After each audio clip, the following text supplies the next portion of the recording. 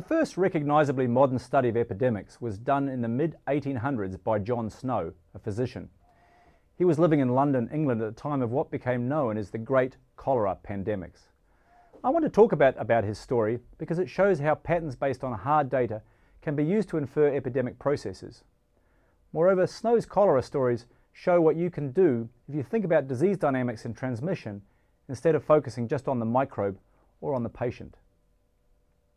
Records of cholera-like deaths go back 25 centuries. The disease begins with severe vomiting and diarrhea, which rapidly causes serious dehydration. People can die within a few days or even a few hours of the first symptoms. Today, with proper medical care, fewer than 1% of people with cholera die, but without medical care, more than half die. The first cholera pandemic in Europe happened around 1830, probably seeded from India. The second pandemic happened around 10 years later and ravaged John Snow's part of London with thousands dying. At the time, no one knew what caused the disease. It's hard to imagine today that people knew nothing of germs, but the so-called germ theory of disease was decades away.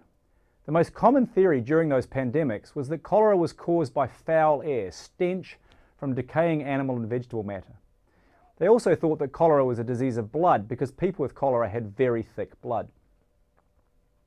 In 1849, John Snow published his theory that cholera must be a disease of the digestive system because it caused vomiting and diarrhea. The thick blood was a side effect, he said, due to dehydration. Snow reasoned that something must therefore be coming in the mouth and out with the feces. We now know he was completely right. Cholera is caused by a gut infection with a bacteria, bacteria called Vibrio cholerae. It is shed in feces, so it is passed bum to mouth, as it were, via dirty water. But when Snow proposed all this, he was largely dismissed. His chance to test his ideas came when cholera returned to London in the next pandemic.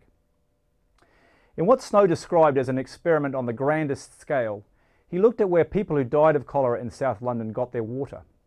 He discovered that people were 14 times more likely to die of cholera if they got their drinking water from the Southwark and Vauxhall Water Company than if they got it from the Lambeth Water Company. Now, both companies got their water from the River Thames, which must have been a disgusting cesspit in those days. But the Lambeth water came from further upstream, above the places where most of the human excrement entered the river. To Snow, this showed that cholera was waterborne and that sanitation was the key to preventing it.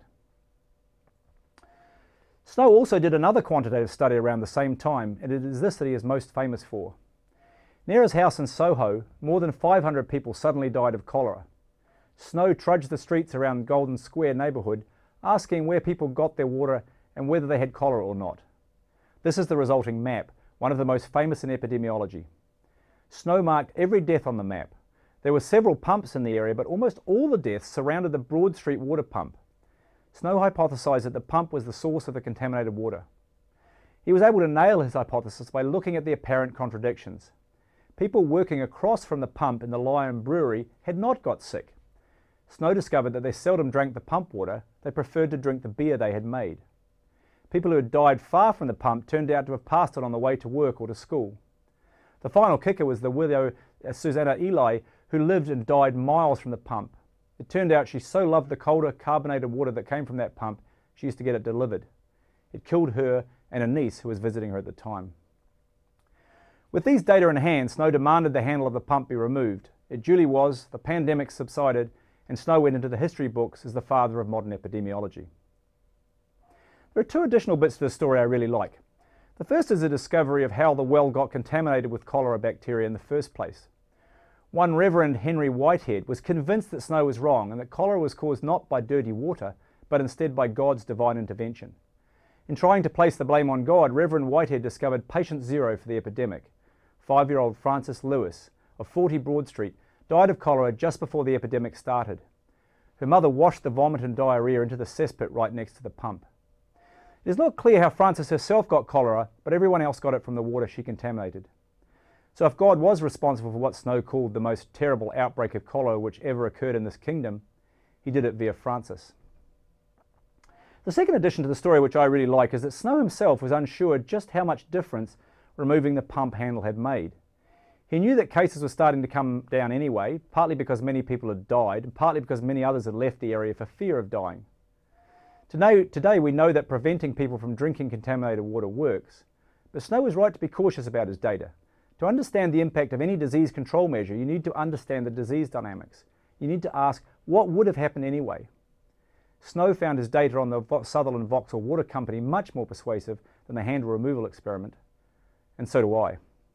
The bottom line of all of this, by thinking about the transmission, by gathering data on the cholera deaths in space and time, and with some stunning reasoning, Snow was able to correctly deduce where in the body the disease was caused, what that meant for likely transmission routes, and what that meant for disease risk.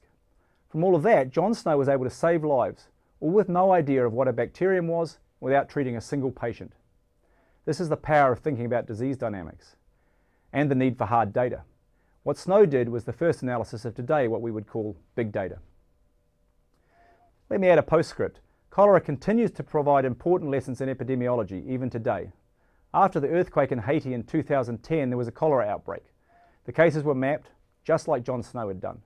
The first cases were downstream from a United Nations base. Third generation real-time DNA sequencing showed that the bacterial strains responsible for the cholera outbreak were closely related to a strain circulating in Nepal from where some of the UN troops had come. I'm guessing John Snow would not be surprised to see cholera pop up when sanitation collapses, or to learn that diseases don't respect borders. But he surely would be staggered that we can trace epidemics across the world without the shoe leather epidemiology that he pioneered.